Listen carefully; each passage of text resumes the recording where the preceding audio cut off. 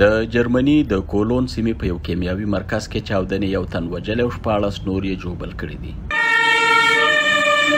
د چاودنې وروسته په سمدستي توګه سیمې ته پولیس د اور وژنې او امدادي کارونو ادارې ورسېدلې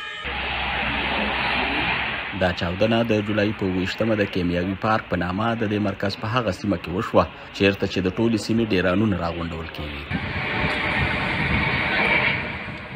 یو شمېر ځایي خلکو د ټلیفون په ذریعه د دې چاودنې ویډیوګانې جوړې او په ټولنیزو رسنیو شریکې کړې.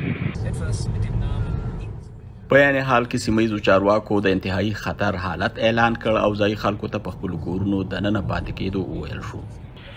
دا چاودنه په رسمي ډول حادثه بلل شوې ده. د چاپېریال ماهرینو اندېښنه ښودلې چې د دې چاودنې د لوګي له وجې د سیمې د اوسېدونکو په صحت هم بد اغېز کېدی شي.